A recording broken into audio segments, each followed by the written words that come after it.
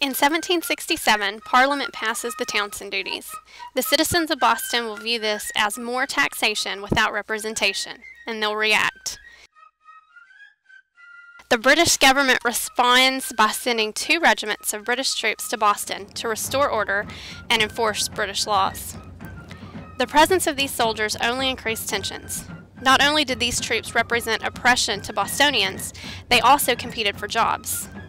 British soldiers earned a pretty meager wage and had to pick up side jobs when they were off duty to make ends meet. This put them in direct competition with the citizens of Boston for unskilled labor positions.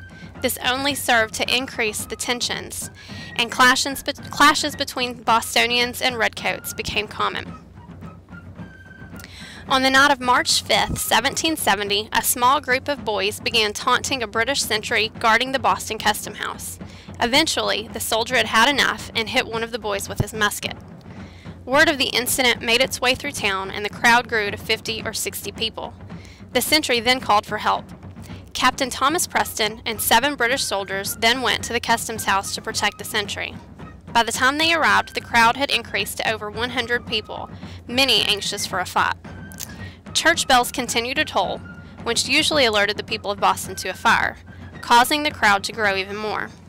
Preston and his men soon found themselves surrounded and unable to retreat to safety. One soldier fired into the crowd, then one by one the other soldiers fired their weapons.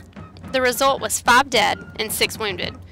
Preston and his men would be charged with murder, and the leaders of the resistance movement in Boston would use this as propaganda, calling it the Boston Massacre.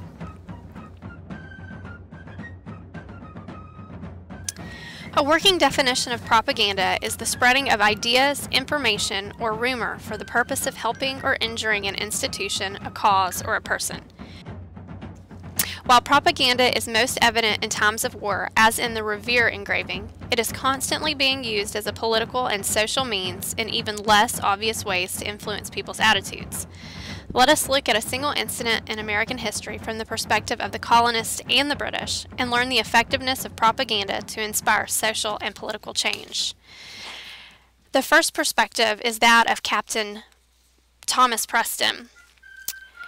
The mob still increased and were outrageous, striking their clubs or bludgeons once. Hmm, the mob still increased and were outrageous, striking their clubs or bludgeons one against another, and calling out, Come on, you rascals, you bloody backs, you lobster scoundrels, fire if you dare, damn you, fire and be damned.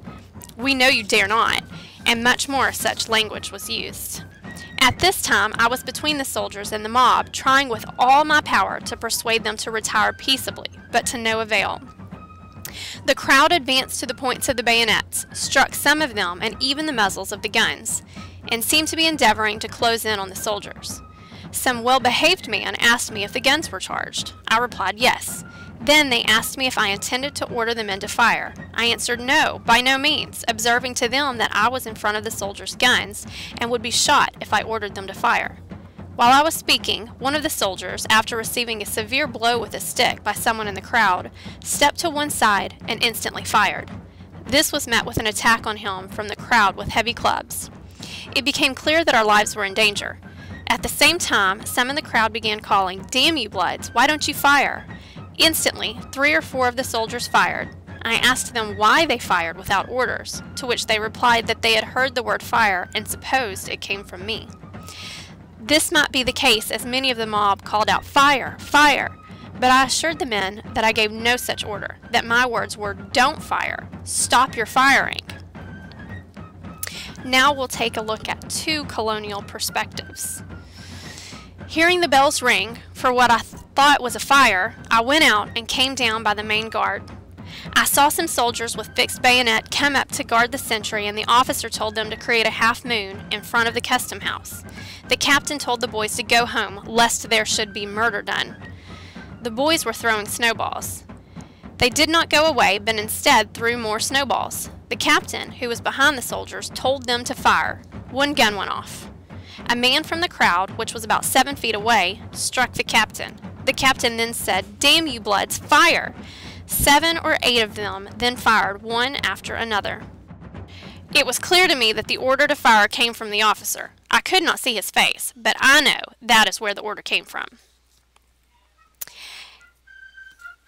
And here is a differing colonial perspective. Saw, I saw one soldier knocked down. His gun fell from him. I saw a great many sticks and pieces of sticks and ice thrown at the soldiers. The soldier who was knocked down took up his gun and fired directly. Soon after the first gun, I saw a gentleman behind the soldiers in velvet of blue or black plush trimmed with gold. He put his hand toward their back.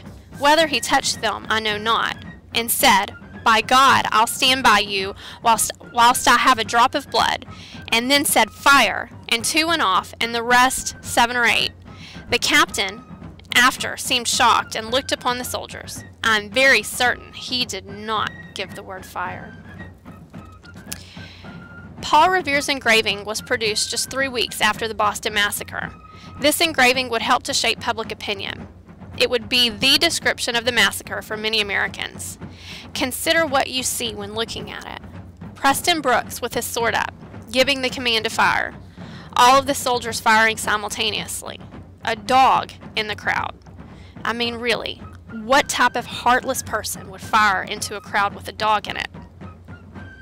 This is the account that will be circulated throughout the, the colonies, the only one that many people will hear, and it served a purpose of presenting the event as a cold, calculated murder.